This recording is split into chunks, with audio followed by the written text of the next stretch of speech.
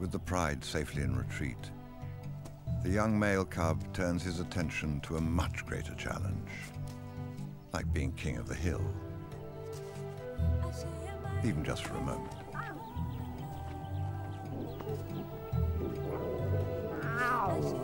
For a young lion, being lord of all you survey is almost your birthright. If only one's sister would accept it.